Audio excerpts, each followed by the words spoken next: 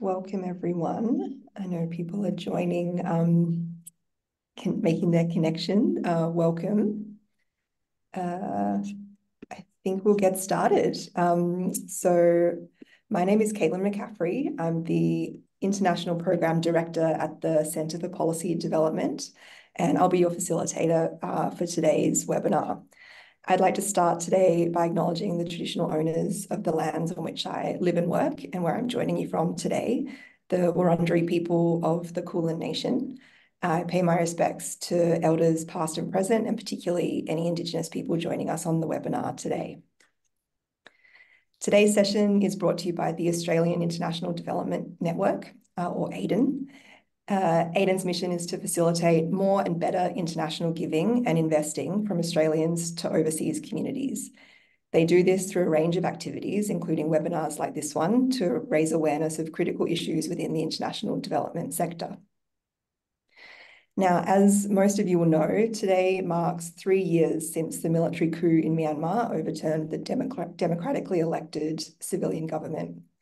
During that time, almost 4,500 people have been killed, almost 26,000 arrested, and millions have been internally and externally displaced due to the military's actions. Uh, so today we're here not only to discuss some of the suffering um, of the last three years, uh, but I thought the title of the webinar was very aptly Resistance Amidst Turmoil. And indeed, the resistance movement um, has really been unprecedented. Uh, it's currently estimated to exercise control over around half of the country, including some significant territorial gains even over the last three months. So there are, have been some causes for hope, and I hope we can get further into those during today's discussion. Uh, so today I'm joined by three people really expertly qualified to go into these issues and many more. Uh, I'm delighted to be joined by Sean Turnell, uh, author, economist, and former policy advisor to the Myanmar government, Manny Maung, Myanmar researcher at Human Rights Watch, and Tasneem Roc, campaign manager at the Myanmar Campaign Network.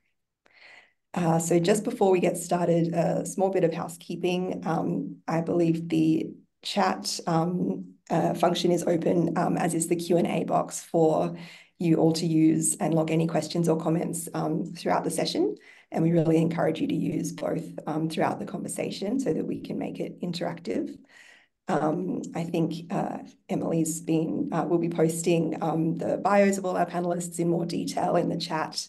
Uh, and finally, we're also recording this session and it'll be published on AIDN's website and YouTube channel uh, in the coming days for anyone who wasn't able to attend live today. Uh, so I think that's all the housekeeping. Um, so I thought we'd start today uh, just with one question for all three of you. And Sean, I'll go to you first. Um, but really, I think th today, three years on from the coup, I'd love to hear how would you describe the current state of play in Myanmar and maybe particularly given the recent developments in the last three months? Thanks so much, Caitlin, for the question. Um, and thank you to you and everyone at AIDN for the opportunity to talk to everyone today on this very important day, as you said. Um, well, so uh, I guess I, am here to talk about the economy. That, that that's the area where I feel I have at least a degree of competence. Um, so I might just talk about the state of play there. Uh, and just to say at the outset, of course, it's awful, it's dreadful, um, and I think we're going to hear more from Taz and, and Manny in particular about just you know the damage done to the country, of which the economic is just a part. Um, but you know, to stick for the economy in the moment, I guess what I did want to highlight, if we're looking at Myanmar now, we can say that it is no longer a transition economy. So we often use that expression that Myanmar is a transition economy, uh, transition country, with I guess the assumption that it's moving on some sort of growth and development trajectory. That that that's you know how we typically look at a country like Myanmar, and particularly ever since about 2010 uh, and then accelerating, of course, when the NLD got into office in 2016. That that was the sort of use, usual scenario. We have to set that aside now. Uh, Myanmar's is a war economy. And to the extent that the SAC junta has any economic policy making uh, at all, philosophy, if you like, although I wouldn't use a grand word like that for it, um, it's really nothing but to secure as much resources, real and financial, for their war efforts. So it really is a war economy. Um, there was an old expression that Lenin used way back, you know, in the Russian Revolution called war communism, which was basically the military just let loose on the country to grab whatever they could. And, and that seems to me to be the, the vision that we should have in terms of the economic policies uh, of, of this, this current junta. Um, so all that means, I think, that our assumptions, our presumptions about this current regime have to be set aside uh, compared to our thinking in the past. So this is not the pre uh, NLD Thein Sein government. It's not even the, the Than Shwe government. It's not a regime that uh, has anything in mind except the extraction of resources for itself, as I mentioned. So, in other words, there's no cost, it seems to me, that they're willing not to pay on behalf of the people to to secure their own efforts. So, uh, you know, it, it, they, they don't particularly care about the damage that's done to the civilian economy. And the, and the reason why I want to highlight that too, but as consistent with this idea of a war economy, is that when we talk about some other things, some actions of outside players such as sanctions and so on in particular, I think we have to bear that in mind. If we're thinking about things like sanctions and other policies like that, it's not about shaming this regime. It's not about trying to get them to change their behavior for them, the issues are existential. So, what we have to do when we think of policies against this regime to try and change outcomes in Myanmar is how to reduce their capacity, how to reduce their capabilities. And here, we naturally then drift into the area of foreign exchange, access to foreign military equipment, munitions, etc., the air air force capacity that is the only real advantage they have over the opposition. So we need to be thinking about things like sanctions as to the extent that they inhibit this sort of activity. So, yeah, so this designation, as I say, of something being a war economy rather than anything else, I think is important then when we need to think of our reactions as well. Uh, just as a brief tangent off this, and I think Taz uh, in particular is going to say more about this, is that welcome today the decision of the Australian government to sanction the Myanmar Investment and Commercial Bank and the uh, Myanmar Foreign Trade Bank brilliant. Uh, these institutions are very important in the way that the SAC junta has been able to access uh, foreign uh, uh foreign exchange to buy the military equipment, etc. Much more needs to be done. Uh, Myanmar Economic Bank also needs to be sanctioned. But anyway, welcome what they've done so far. Likewise for their sanctioning on on the jet fuel.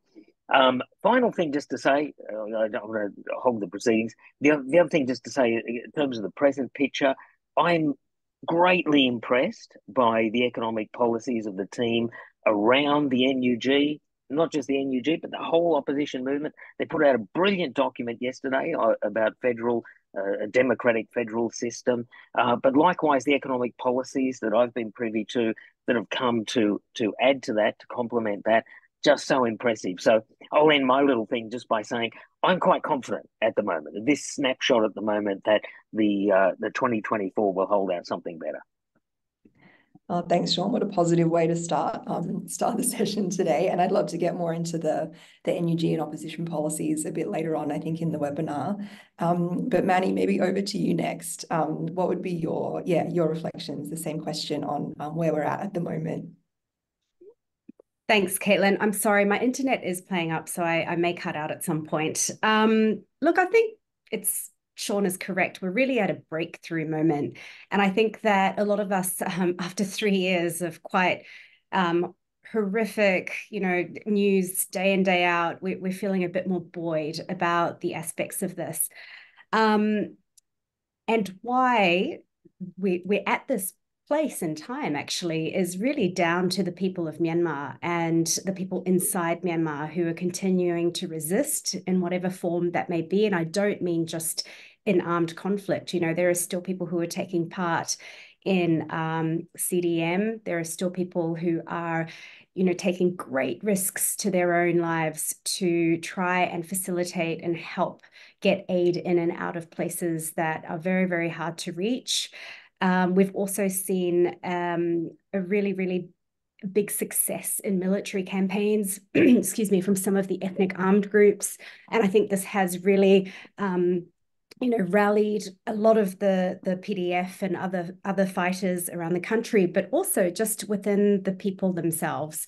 Um, there's a bit of a shift, and we're seeing political pressure um, on Aung Hlaing from you know factions where there were natural support, like with the uh, nationalist monks and, and things. So I think we really need to capitalize on this and build on that pressure. So I do think that some of these um, long vision sanctions are working in some ways, um, but certainly there's there's a lot more need to be need to be done. Um, so right now, unfortunately, from the human rights perspective, um, you know, Volker Turk, the UN um, High Commissioner for Human Rights has said that the country, in terms of the human rights outlook, is in free fall. And this is where I'm really, really concerned about because we do need to look at mechanisms that will stop the military being able to continue committing abuses, and that's key. Yeah, thanks so much, Manny. Um, and Taz, um, what would be your, I guess, summary after those two? Um... Yeah, sure. um, well, obviously, echoing um, what uh, Sean and Manny have both said in terms of feeling positive about this year, certainly um, those strategic kind of wins that the anti-junta and pro-democracy forces have had in the last three months, I think it's buoyed all of us and so, so that's really exciting. Um, was really pleased this morning uh, to to hear. I was uh, I was in the car rushing to the airport to to come to Melbourne, um, but yeah, found out about the sanctions, and I was really um, really happy about that. And um, yeah, also agree as well. You know, it's a significant step that um, is crucial to to shutting down or or cutting the the junta's um, capacity to to uh, commit these atrocities. But again, it's it's not enough. And look, I have to be really honest. I'm going to be really honest with you. You know, are we going to wait a year for next the next sanctions? I, I really want this to be the beginning of a series of sanctions that are truly effective in cutting off the the junta's financial resources. And I don't want it to be retrospective. Do you know what I mean? You know, two years, five years too late. Telling the truth. Love it. Thanks, Taz. Um, I wonder, um, just uh, on terms of sort of the situation inside the country um, at the moment, to go into a little bit more detail, perhaps, because I know a lot of the um, people joining the webinar, a lot of people work with um, humanitarian agencies and others working on the ground um, uh, in Myanmar at the moment. Um, so maybe um, this one might be for you, Manny, um, around, I guess, what kind of are the main human rights concerns, I guess, that, that, that Human Rights Watch has um, currently. Uh, and I guess in terms of the humanitarian response, is there, yeah, more that can be done in that space as well? Okay, I'm going to take a, a, leaf out of Taz's book and be very honest. it's disappointing. I mean, obviously, okay. Let me let me give you a bit of a snapshot about the human human rights perspective. Um, it's worse. It has not improved, and you can bet your bottom dollar that it is even worse for the Rohingya who remain living in apartheid conditions in Myanmar, as well as for the Rohingya who are still stuck in Bangladesh. And, um, you know, if you can imagine the outlook for refugees right now who are stuck in a no go, um, no move area, they have no freedom of movement, no opportunities, no livelihoods. It's it's horrific. Um, but also the situation for the Rohingya really is a you know bodes really terribly ill for them because um, they do feel forgotten, and this is up to us to try and really push through um, what they're trying to achieve inside at an international platform. Um, you know, it's it's three years. Um, yes, three years too long, and I'm really, really glad to see the Australian government uh, taking some stronger action. But there are loopholes in these sanctions that they have imposed. Um, they sanction Burmese entities, but no foreign entities. And again, with the uh, jet fuel sanctions, only Canada is the um, Canada is the only country that has imposed comprehensive sanctions. Um, but again, I want to return back to this discussion about the war economy. So you know, three years, five years, three years later, the entire country has been forced to take part in the war economy. So whereas three years ago we were discussing, you know, peaceful protests, um, strike action, and other non-violent means in which people could protest. Three years of neglect from the international community has forced people into a situation now where there is something like 2 million people internally displaced. Um, just in the last three months alone, about 600,000 more displaced. Um, daily attacks, airstrikes that are targeting civilians uh, multiple times, not just once or twice. People are fleeing seven, eight, nine, ten times. And um, this is all over the country. So the situation is such that it is, yes, in free fall, but I am hoping that this is the worst that it gets, particularly since everyone hates Min Aung Hlaing now. nice. yeah, thanks, Manny. And just maybe staying, yeah, staying on the the war economy, I guess. Um, Sean, we're already getting some great questions, um, by the way, in the chat, everybody. Uh, but someone's asked about um uh, the support of China to the military, I guess, as well. And I think, yeah, I'd be interested in your thoughts on on that dynamic. They've asked specifically um, in relation to the recent crackdowns on the online scam centers, but I guess the relationship in general would be interesting to discuss a bit as well economically. Yeah, I mean, just on that, the, the sort of online scams, the, the economy that has grown up there up on the Chinese border.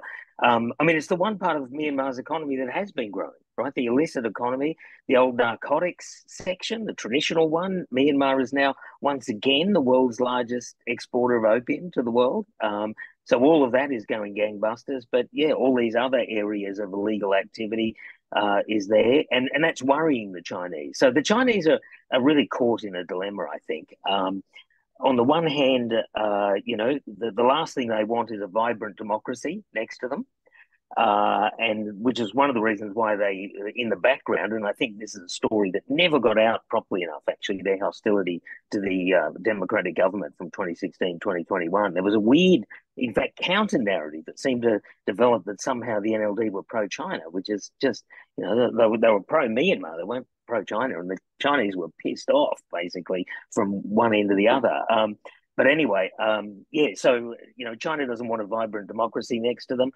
Uh, but uh, so you know, perhaps they they wouldn't have not welcomed the coup, but they also want stability. Um, they've got huge investments in in Myanmar. They were desperate at one point. It's a little bit unclear now because they're starting to run out of money themselves. They were desperate to build these vast projects for the BRI. Uh, the NLD government really pushed back on those uh, and reduced them substantially.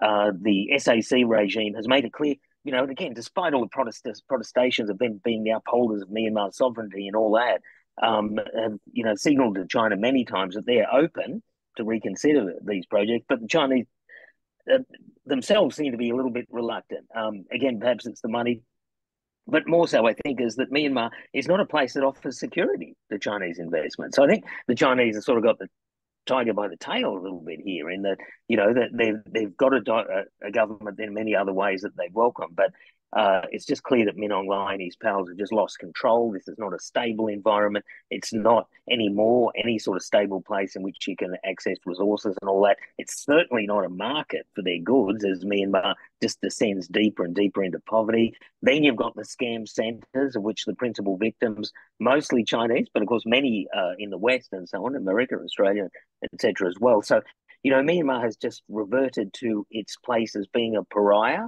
um, I think the only countries that, that parallel it now are, I guess, Iran or North Korea. I mean, that, that that's back where it is. And so, yeah, I would imagine China's quite discombobulated um, about events, basically. Yeah, it's amazing how quickly that situation's gone. The pariah status has returned, really, when you think about it. Um, uh, I guess speaking of um, uh, investments in Myanmar, um, and someone's also asked about this in the chat. I know this week, um, Taz, a really big report came out about um, Australian uh, investments in in Myanmar. I wonder if you could speak to that a little bit. Yeah, yeah, for sure. Um, so yeah, I think it was Neil in the chat mentioned that um, the the benefits that the SAC, the junta receives from mining resources. And Sean, I think you also said, you know, the extractive industry is like this big financial lifeline for the junta.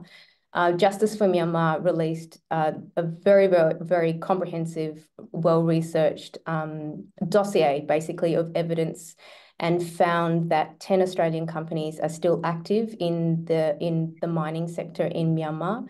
So they're direct, either directly or indirectly uh, you know, supporting the junta. And so that could be any anywhere from, say, for example, one of the companies named is Cornerstone Resources. They have an active mine.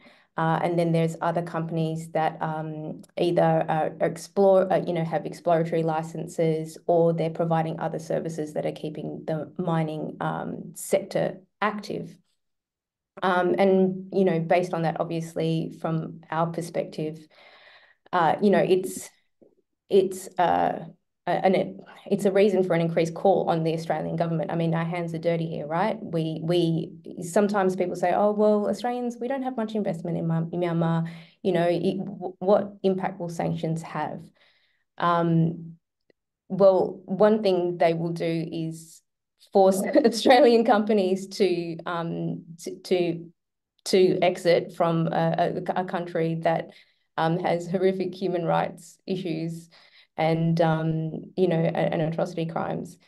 These companies are supposed to be doing their human rights due diligence, and they're clearly not. Um, one of the companies responded said, well, we're not interacting with any um, entities that are sanctioned. Uh, well, not by the Australian government. We, you know, we haven't committed any crimes. So the the recommendations in the report are obviously well these companies you know should do their their due diligence and adhere to international uh, guidelines and standards. Uh, they should also consult with the legitimate gov government, the National Unity Government, and um, any ethnic organisations in those areas.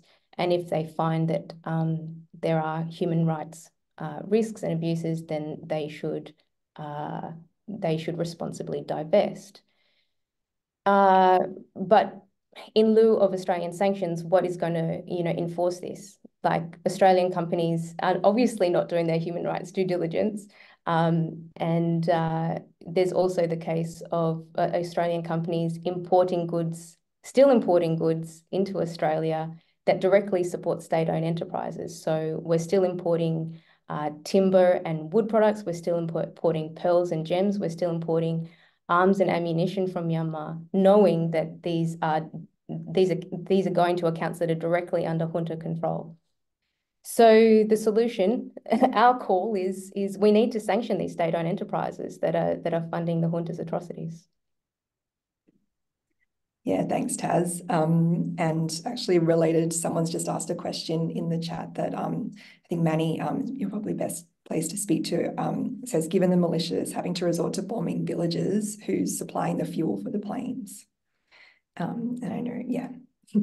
Um, the the military is bombing. Uh, yeah, the villages. Who's playing? Okay, so um, uh, that's a really great question. Actually, Amnesty International's done a fantastic uh, report on it, um, that was released just yesterday as well, identifying how some of these um, fuel sanctions are being circumvented by particular countries. And um, they've even managed to uh, map out a supply chain of how it gets into the country. Um, in this particular example, they use how uh, they use an example of uh, Vietnam and how cargo is met, like fuel cargo is going via sanctioned countries into Vietnam and then into Myanmar. So again, actually probably not violating sanctions as such because they're using international companies. Um, the, the fuel itself might not be, you know, jet fuel as such, it's aviation fuel, but then it's getting jerry rigged at a certain point so that it can be used in jet fuel. Um, so while it's great to have these sanctions come into effect, it's as Sean says, you know, is it really hitting it where it's going to hurt the hip pocket. And we're seeing that it's not. So that example again of Canada being the only country to have comprehensive sanctions, we've now got the US, Australia, um, UK, um, the EU who have put in sanctions in place, but these are targeted at these Burmese companies, right? Being able to do the money transfers in and out of the country. The problem here is that international companies can still do business. And there's something like five companies that are still providing insurance cover for that cargo fuel that's going into Myanmar. So those are these loopholes that we're talking about where we need to make sure that they're closed and that there are consequences for doing that because the issue now is about enforcement. Um, we have had some success where Thailand and uh, particularly Singapore have been um, scared about the banking sanctions and doing transactions in US dollars and EU dollar transactions, and that has stopped them uh, doing further business with companies um, and obviously the banks that are sanctioned by the US.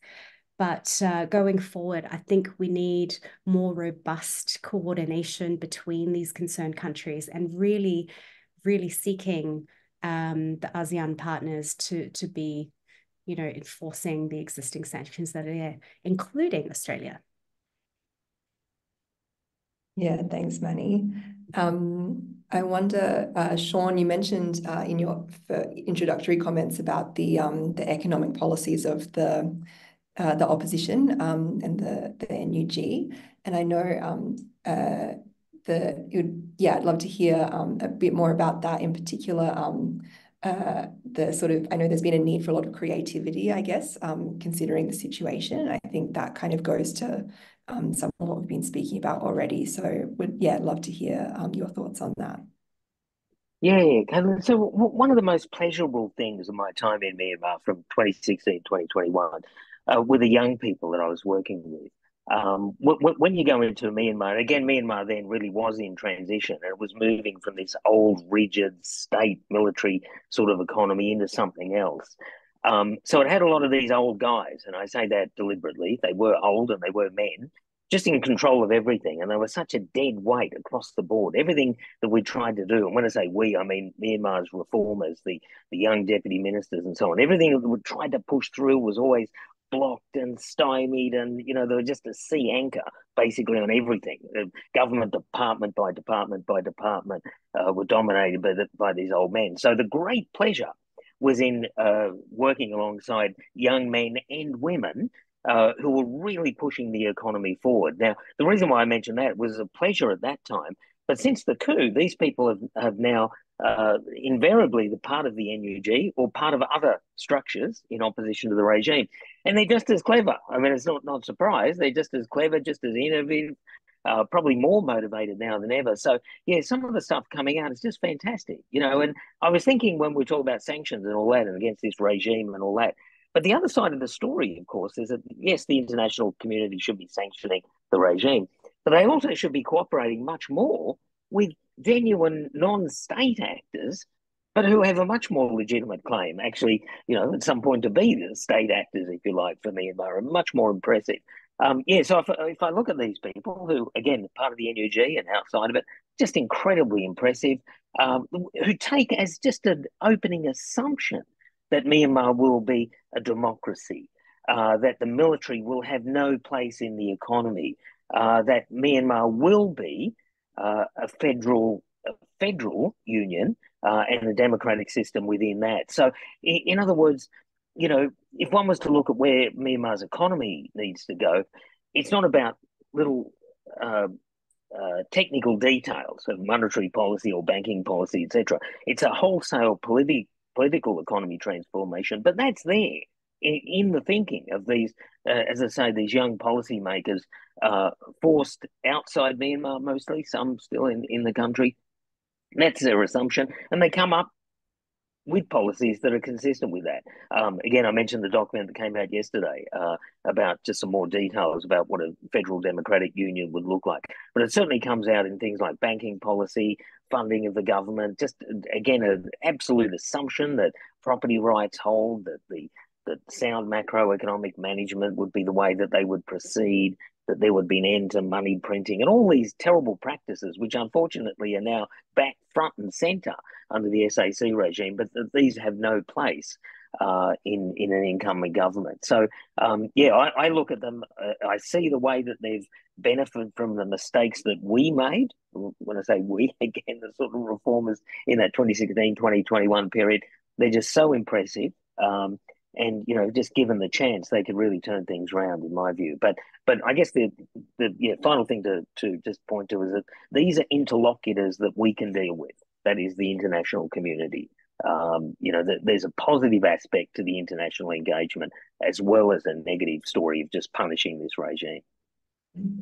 Yeah, thanks, Sean. I think that's so important. And um, Taz, I'd love to come to you in a minute to talk about um, the Myanmar Campaign Network's um, role in that as well.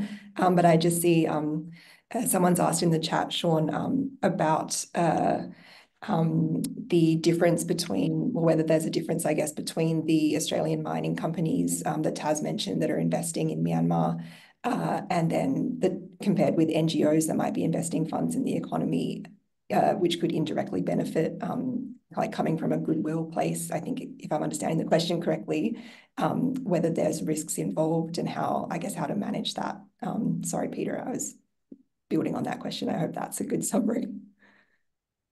So I guess on that, Caitlin, it's just a very simple rule, really, which is does the, do funds get into the hands of the regime, uh, and in particular foreign exchange that they're absolutely desperate for, and there's ways around it, and and people uh, who've been involved in Myanmar for many years uh, know those ways, uh, and if I think the person who's asking the question is is who I think they are, uh, they certainly know how to do, the ways to help the people of Myanmar under the table, if you like, that doesn't involve uh, foreign exchange flowing to Myanmar's regime. So, yeah, there's a very big role, uh, no doubt, for many of the organisations that are part of AIDN.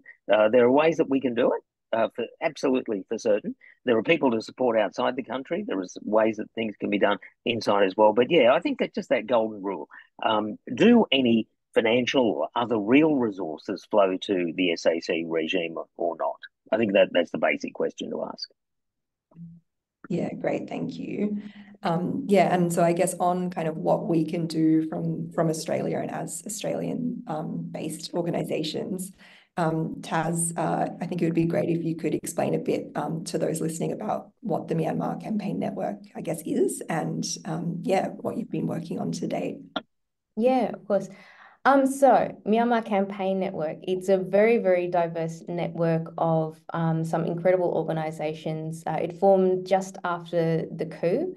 Um, there's uh, obviously NGOs, INGOs, faith-based organizations, um, human rights organizations, trade unions, and Myanmar diaspora organizations. Um, they've done some pretty amazing investigative work um, and uh, have also, you know, we've also um, made sanction submissions. Um, in 2021, um, member organisations uh, submitted FOIs to Future Fund, which found that Australia's sovereign wealth fund um, is actually investing in companies that are in Myanmar's uh, oil and gas sector. Um, and our main calls obviously have been uh, for sanctions uh, and also for recognition of the national unity government, the, the legitimate government of Myanmar. Um, and obviously, you know, it, it, February for this year, um, one year ago, you know, we had, you know, some, I don't know, I, you know, it was really strange when we had the sanctions February 1st, 2023, I thought I would be happy and I, I felt very, um, because we'd been campaigning for two years for this, and I was like, this is this is an uphill battle. I just didn't know if and when we would achieve that, and I actually felt, I felt very neutral, um, and I also felt, um, and this kind of goes back to what you said ages ago, Manny.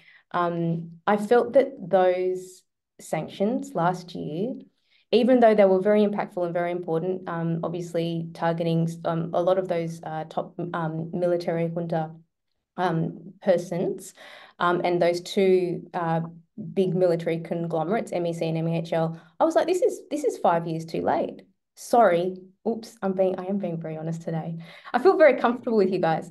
Um, you know, it that's retrospective. All of the people who were sanctioned and all of those entities, they should have been sanctioned in, in 2018 when we sanctioned those um, five individuals in relation to the Rohingya genocide. Um, I just don't want it to be, sorry, I, I went on a bit of a tangent there. That's what I was saying before. I just don't want it to be five years from now, we're sanctioning um, all of the entities and the individuals that need to be sanctioned uh, now, because this is a really important um, moment in Myanmar's history. We have a situation of leverage, you know, with all of the um, the advances that have been made um, strategically, with the coordination between uh, ethnic uh, resistance organizations and the NUG, uh, the the dissatisfaction, as you said before, Manny, with Min Aung Hlaing and the cannibalization um, of the SAC, um, you know, uh, imprisoning a couple of key ministers for corruption, which is kind of a joke, really, um, when it's all corrupt. Um, sorry, but going back to what MCN um, does. Um, we organise, um, obviously we're doing uh, a lot of uh, advocacy and lobbying. Uh, many member organisations and um, individuals uh, are, meeting with, uh, you know, members of parliament and ministers to um, give our recommendations. And we also obviously have uh, public campaigns as well. and one of the ones that I probably will mention now is in light of Justice for Myanmar's uh, you know, pretty devastating report about Australian involvement in the mining sector. We do have an email campaign that we've launched today to email uh, Minister Wong to call for sanctions on the entire network of individuals and entities in the mining sector. And obviously beyond that, calling for sanctions on state-owned enterprises, uh, obviously, today we've had the sanctions on the aviation, a couple of jet fuel suppliers, but also on the entire aviation fuel supply chain. We'd like to see that. Uh, and also on the uh, Union Election Commission, because obviously the junta is planning these illegitimate sham elections. Um, yes, and so we will put the link to the action in the chat, and we would love everyone involved to um, to send an email to Minister Wong. Thanks, Taz. And I feel like um, a lot of people on this call can probably relate to that feeling of when you've campaigned or worked on something for a really long time and that kind of the sense of it's still not being enough, even once you achieve something you've worked on for a really long time, because it is such a huge, um, such, there's such a huge need. Um, and it's, um, I think it ties in nicely. We've had a question in the Q&A um, come through about the, the role of international justice um, processes in this. Um, and so, Manny, I'd love to hear from you.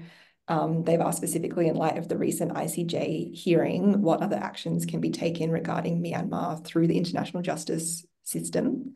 Um, but I wonder it might be good as well for you to just maybe explain, if you can, a bit about the ICJ, um, what it what it means, I suppose, um, as well for Myanmar.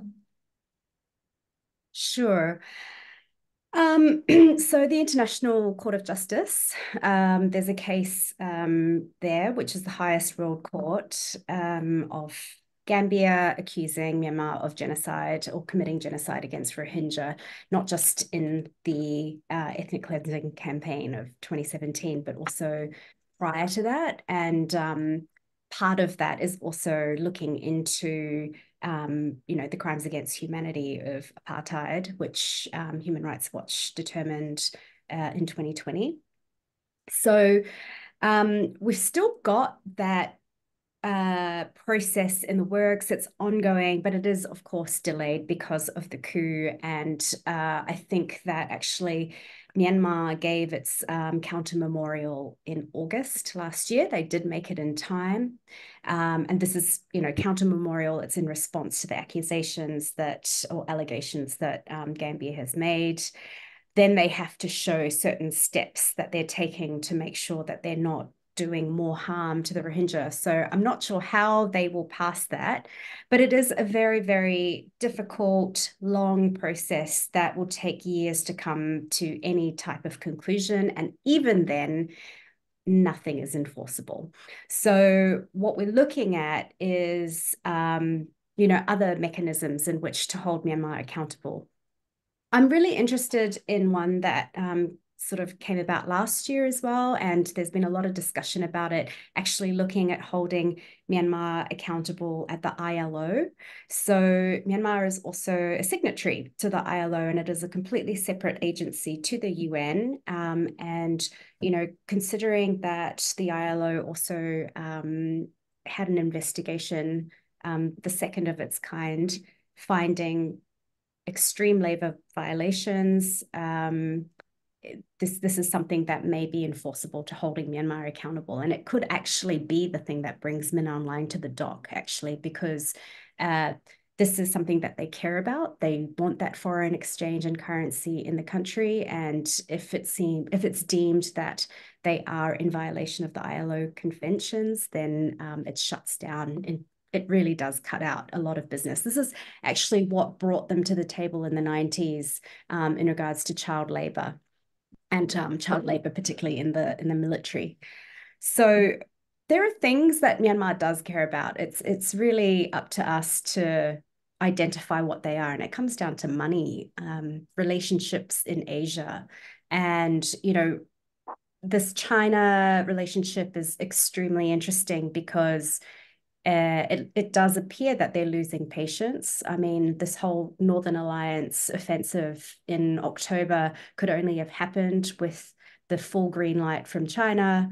Um, so China's hedging its bets on who's going to be taking control of this particular region. And I think that um, they'll go whichever way the wind blows. They don't really care who's in power so long as there's stability so that they can implement the uh, initiatives that they want to. And that's at the bottom dollar on their part as well. Um, but, you know, they are a wily actor. They're selling weapons to all the different parties. Um, the illicit trades are going through that border via all the parties. Um, and we need to be a bit more, I think, savvy about the way that we engage with, with um, Chinese companies as well. Um, but back to the question about these international systems, um, I'm, I'm a little bit sad because anything that we look toward is going to be very, very, uh, it will take a really long time. It will be very, very long. Um, and then, you know, when we're thinking even now about transitional justice and where to go from here, um, that's a positive actually, because we've stopped looking at it just as in how do we stop the attacks, how do we stop the abuses, but now we're looking at it and we're able to think more about what are the solutions, where can we get, and how do we get there. Um, there's been discussion about um, promoting what could be a special court as well inside Myanmar. So, you know, if we can't get to these um, international mechanisms to hold people accountable, um, or they take a very long time, is there a possibility to set up a special court inside the country? But again, that takes a lot of resources and finances um, from governments and from the UN. And may I just say one more thing? Sorry, because I it it's something that really annoyed me at a panel last year that I was on at the FCCT in Thailand. Um, someone said, "What Myanmar needs is a charismatic leader like Zelensky, mm-hmm. and then we'll fix everything." You know, and I just thought, have you you have just completely missed the whole point of this resistance. It's a groundswell movement from the entire country there have been, you know, such delightful examples of leadership from all groups, factions, small civil society actors to business community leaders to just, you know, your teacher down the road. And that really, really annoyed me because the point is that Myanmar has so much um, capacity to lead themselves and decades of saying where we want to go and how we want to do it. And it, I just feel like no one's listening to that. So um, forget the one charismatic leader. We have many charismatic leaders. And that will get us to the future justice. I love it. Um, no, I couldn't agree more. Um, and before we move off international justice, um, Manny, just someone's asked a quick follow up, um, which is fair enough. Is how is it that South Africa brought the case against Israel so quickly when that wasn't the case with the Gambia um, uh, yeah, I'll throw that to you before we move on. um, Yeah, I mean, I, am not an expert on the ICJ. I, I, can actually check to see if you if you want to know um, the technicalities there. But actually, you know what? Uh, Myanmar's case really set up precedent for South Africa's case. And I know this is controversial, um, but uh, we have the same type of um, simmering factors there, let's say, right? Like we have this apartheid determination, we have ongoing conflict, um, and I say conflict, but really it is one group that has the massive persuasive arms and impact that, you know, dictates how the others live their life um, and how they don't get to live their life. So actually, Myanmar's case being in existence already um, probably help propel that a bit further because there is precedent and a lot of that language, including the directives uh, to Israel to stop committing abuses against the, the Gazan or Palestinian people. Um, it's a very similar language to, to what was used um, in directing Myanmar. Yeah, thank you. Um, just going back to um, what you were saying about the whole grassroots movement um, in Myanmar and how inspiring that's been, um, I think, yeah, I think we'd all agree. Um, and I'd love us to spend a bit of time, I guess, thinking about or talking about, um, yeah, like what comes next, I suppose, and, and sort of how to support that um, more broadly. And Sean, I know you've spoken a bit about the uh, some of the economic nous of the young policy thinkers. Um, but I guess what would you, since you know the country so intimately, like what would you say are kind of some of the, I guess, the top priorities to kind of, you know, if we're, I know I'm getting ahead of myself, but if we're thinking about a kind of um, rebuilding a civilian capability, um, obviously the economy is a huge one, but yeah, I'd love to hear kind of, yeah, some of the priorities from your perspective and maybe the same question to the others afterwards, but. Yeah, great question, Caitlin. And the priority is fairly obvious and fairly easy, if I can say. I don't mean that the journey will be easy, but but what to do is fairly easy because the main thing is is to uh, stop these war economy policies. So Myanmar's economic policies are overwhelmingly man-made, and of course they use the gender specifically there. Um, they're overwhelmingly man-made, and they can be overwhelmingly person-stopped. Um, so you know, so that that's the central fact. Uh, you get that out of the way, um, and things start to repair almost automatically in a sense that the the economy has been driven so low that one of the good things is, if we get any sort of half decent government, the bounce back will be quite quick because the economy, as I say, has been just knocked so so much down.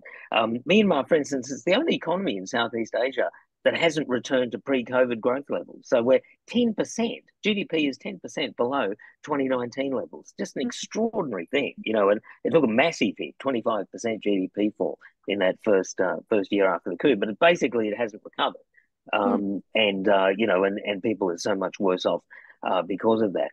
Um, so yeah, so you know, get, getting things back to uh, back to something is uh, essentially just about reversing that extraction uh, and having the government, just for a start, just not being an extractor, as opposed to even before putting any positive things in, you know, would be a huge change.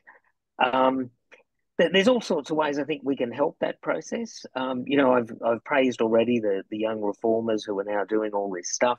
They get no international support basically at all, um, and and that in a sense also, by the way, you know, I, I can praise them but you might think, oh, well, Sean's always praising them. Uh, in fact, one of the reviews of my book, it said if there was one fault, it said I was too gushing uh, in my praise of Myanmar's reformers. anyway, I'm going to gush again. So uh, I don't mind gushing. Um, but just to say that they, they put their money where their mouth is even now. So, as I say, no real financial support for the NUG or the opposition, and yet they fund themselves in all sorts of incredibly in- innovative ways, from the usual things like lotteries and so on. But I say usual, you still got to do them, they're still mm-hmm. hard to do. Uh, for things like cryptocurrencies, they've got this Spring Development Bank, this development bank that's emerged and has nearly 100,000 customers now. They've got central banks, uh, like a sort of shadow central bank set up.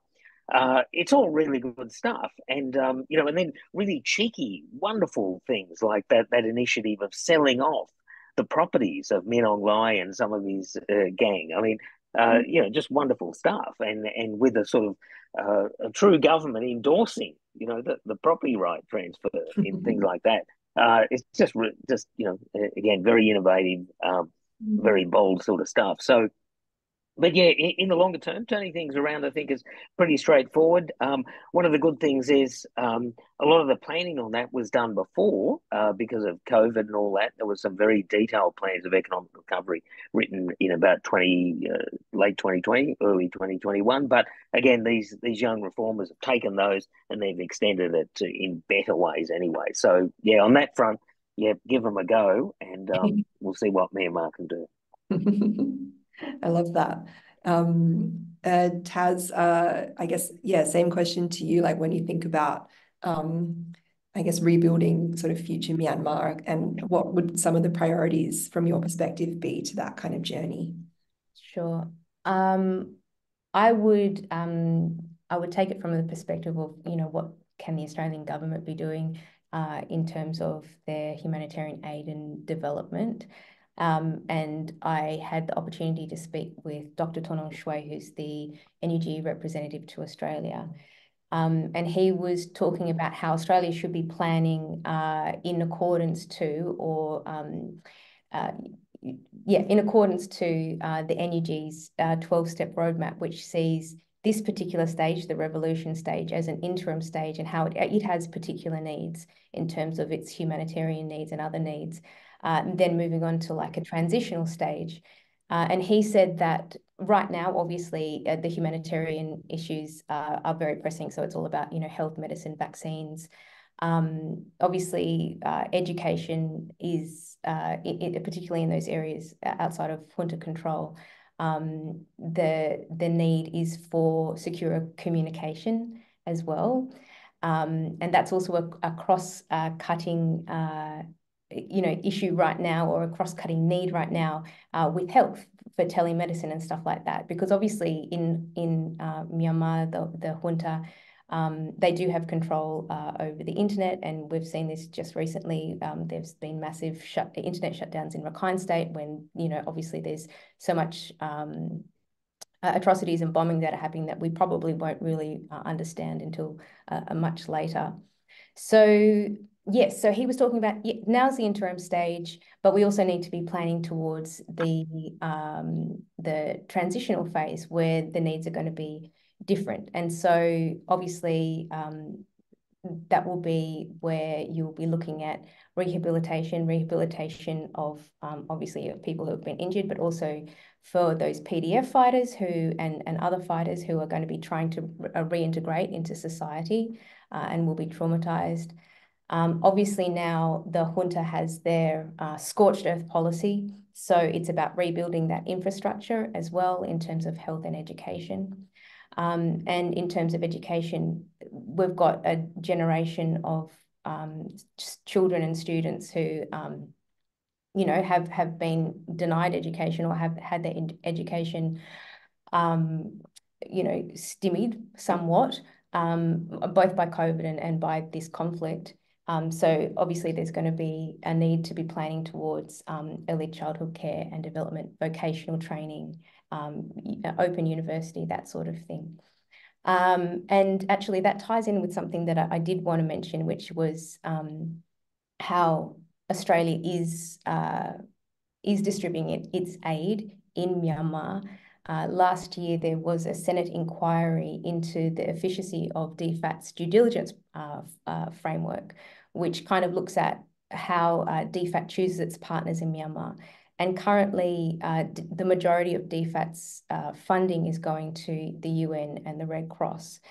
Unfortunately, the junta is, um, you know, it only controls maybe 15 to 20% of the territory, perhaps even less now, uh, and actively denies aid to to to areas. Uh, that's that's one of their um, one of their uh, the things that they do. I'm so sorry. My my vocabulary is getting less and less as we're having this conversation.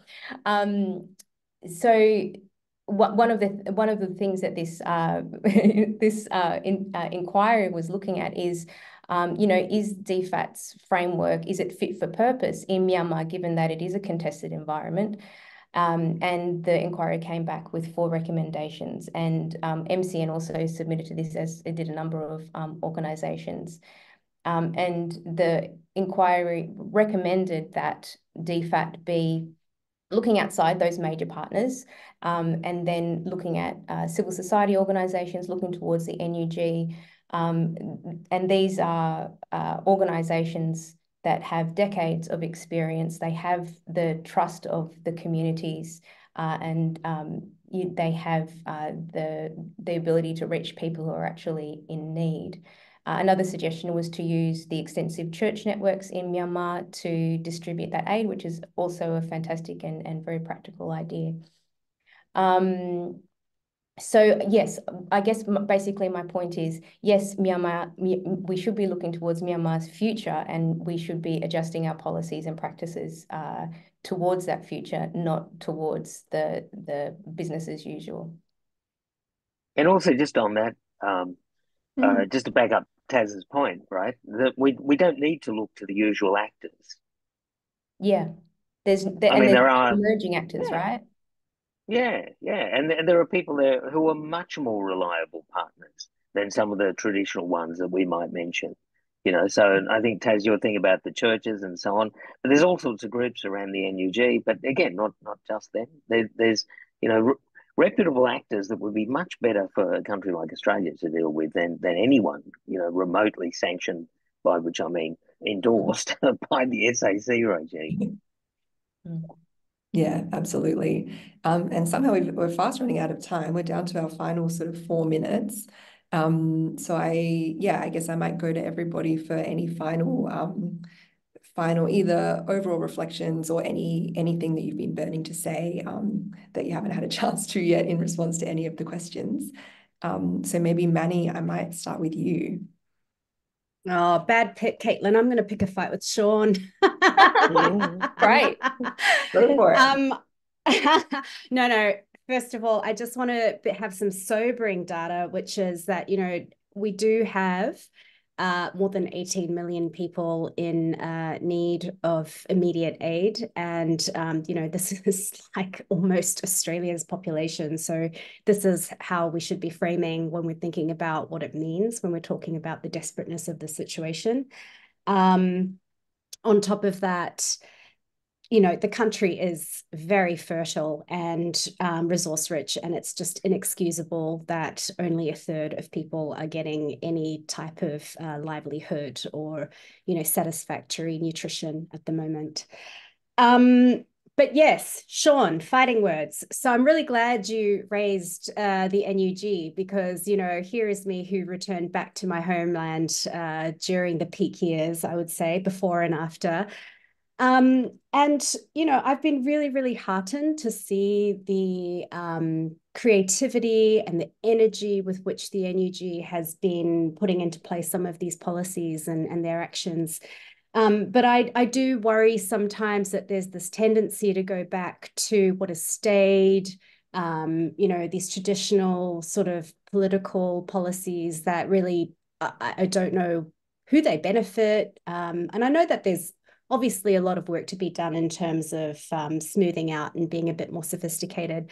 But I would really, really love to see more robust action once we have our country back, um, more diversity, and certainly to make it easier for people who have Burmese backgrounds, who have lived abroad, who have the skills to return um, and train up people, just making it easier for people like me to come back. That's a purely selfish request. um, but I think, you know, one of the things that was really difficult as an international person and as a local person was bridging the gaps between um, what where Myanmar should be in comparison to the rest of the world. And one of the hardest questions I found myself being asked whenever I was back in the country was, what's it like overseas? Um, how is it different to Myanmar? and I just would always be tongue tied with how to explain that situation. So I hope that we can get to a better point. Yeah. Uh, it was a, great point, and, and and it's something that I observed at the time as well. Um, so you know, I mentioned the old men that tended to dominate things and so on, which is to your point actually about the lack of diversity, etc. And and I guess that that's why I'm somewhat heartened by the, the real emphasis on things like federalism and all that. So, and as we know, when we talk about diversity, multiple facets, right? It's it's gender. It's to do with, uh, you know, above all, how, how do we incorporate Myanmar's ethnic groups together, and and you know, to end this dominance of the Bamar and, and all that. So, um, yeah. So I mean, it seems to be certainly in place in there. But but I understand where you're coming from. I think uh, some friends of mine in your sort of position, uh, Myanmar people overseas coming back, uh, that that sort of very much sense of being excluded at times. Uh, of course, th- this is a bigger issue, though, isn't it? Because um, there's always that tension, right, to the people who've been overseas and the people who remain and all that, and and that's difficult to get around. I would imagine that after all of this, there'll still be a bit of that as well, and and that will be a challenge, I guess, to uh, whatever government or uh, emerges after all this. Um, hopefully, though, this has been a shock to the system. I, I just get a feeling that amongst really good people who might have been a little bit more complacent about these sorts of issues when the NLD came into government, saw them as perhaps secondary issues uh, in favour of just getting on top of the economy and things like that. Maybe they'll be a little bit more front and centre now, given given what happened. Um, I, I, don't want to be too Pollyanna-ish. I have a tendency to this. No, I, end, I but, totally get. Yeah, no, but, no, I agree. And yeah. I mean, there, there there are so many um, immediate concerns, but I that's what I think is um, they used to get pushed back, like you know, women's rights. Mm. We'll, we'll look at right. women's rights when we have stability in the country yeah, um exactly. you know access to certain privileges like that's that sort of thing so i just want to make yeah. sure that you know we are considering every facet um, when we're thinking about this whole structure of federalism yeah. as well because it does go much further into that that might be another conversation to have actually yeah yeah and it's interesting though um Manny because it seems to me that amongst those young people that I mentioned who I find so impressive, there's a definite generational change, I think, over issues Definitely. like gender and ethnicity and so on. They're, they're, we're different. They're different people now. I, mm-hmm. yes. Yeah. Yeah, no, thanks everyone. I'm sorry to cut us off, but we've already gone over time. I feel like this conversation could have gone on much longer. It was fascinating. Um, but yeah, unfortunately, we're going to have to leave it there for now. Um, but yeah, thank you so much, Sean, Taz, and Manny, um, for your time today, your wisdom, insights. Um, thank you everyone for joining. Sorry to those whose questions we didn't quite get to, but hopefully we answered a lot of them. Um, and yeah, um, look forward to seeing everybody um, again soon. Thanks very much. Thank you. Thanks, Thanks everyone. Thanks, Caitlin. Thank